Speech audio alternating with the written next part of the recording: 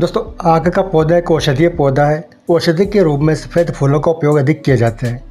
इस पौधे के दूध में गर्भपात कारक एंटीरोमेटिक एंटी फंगल और डायफेटिक गुण पाई जाती हैं। इसके अलावा कुष्ठ रोग अस्थमा और त्वचा के रोगों के उपचार में बहुत उपयोगी है। इसके जड़ की छाल के चूर्ण का उपयोग दस्त और पैचिस के इलाज में किया जाता है। इस पौधे की जड़ अपच में बहुत उपयोगी है। तो आइए जानते हैं इसके और फायदों के बारे में।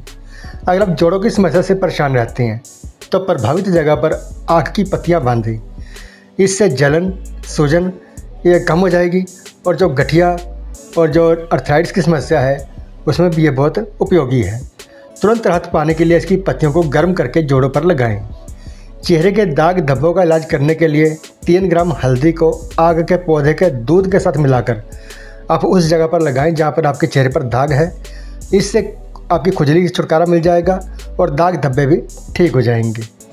और अगर आप बवासीर की समस्या से पीड़ित हैं तो आपको आग का उपयोग करना चाहिए। बवासीर का इलाज करने के लिए इसे जड़ी बूटी की तरह आप लाभ ले सकते हैं। इलाज के तौर पर आप आँख के दूध को बवासीर वाली जगह पर लगाएँ, इससे आपको इसमें फ़ायदा मिलेगा। इस पौधे के दूध को निकालें और अब इस दूध को हल्दी में मिक्स करें और त्वचा के उस हिस्से पर लगाएँ जहाँ पर घाव हो गया हो। तो घाव पर आप मदार की पत्तियों को गर्म करके भी लगा सकते हैं। तो इससे भी आपके जो घाव है वो जल्द ही भर जाएँगे। और अगर आप दांतों की किसी प्रकार की समस्या से परेशान हैं तो तब भी आपके काम आग का पौधा आएगा। दांत दर्द से राहत पाने के लिए आँख के दूध को अपने मसूड़ों पर लगाना है। और अगर आपके पाँव में छाले हों तो आँख के पौधे का रस ले सकते हैं। पैर के छालों को ठीक करने के लिए छालों के ऊपर आँख का दूध लगाएँ इससे आपको तुरंत राहत मिल जाएगी। दोस्तों, हैजा के इलाज के लिए इस पौधे की जड़ की छाल को अच्छे से साफ़ करें। इसे सुखाकर चूर्ण तैयार करें। अब इसमें अदरक का रस और काली मिर्च का चूर्ण मिला लें। इस मिश्रण से मटर के आकार की गोलियाँ बनाएँ और हर दो घंटे के बाद एक गोली, एक चम्मच पुदीने के रस के साथ लें। इससे बुखार भी ठीक होगा और हैजा भी ठीक हो जाएगा। महिलाओं की प्रजनन क्षमता बढ़ाने में आग का पौधा बहुत फ़ायदा करता है। इसके लिए सफ़ेद फूल वाले आग की जड़ को छाया में सुखाकर बारीक चूर्ण तैयार करें।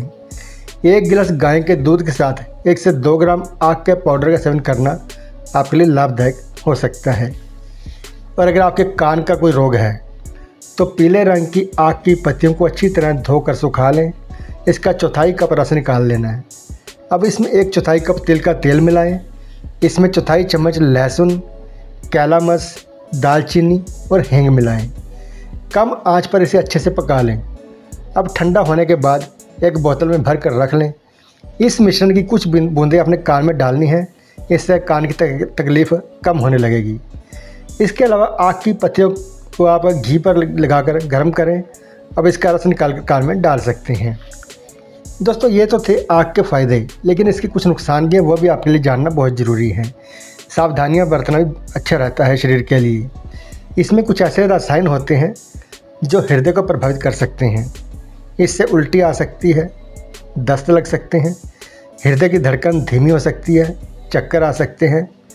और गर्भावस्था और स्तनपान के दौरान तो इसके सेवन से बचना चाहिए। तो दोस्तों, ये थी आज की जानकारी। अगर आपको वीडियो अच्छा लगा हो तो इसे लाइक कीजिए, शेयर कीजिए। और अगर अभी तक आपने हमारा चैनल सब्सक्राइब नहीं किया तो चैनल सब्सक्राइब कर लीजिए और साथ में लगे बेल आइकॉन को ज़रूर दबा देना ताकि नए वीडियो की नोटिफिकेशन सबसे पहले आपको मिल सके। अब अपने दोस्त को इजाज़त दीजिए, फिर मिलते अगले वीडियो में एक नई जानकारी के साथ। तब तक के लिए नमस्कार, धन्यवाद।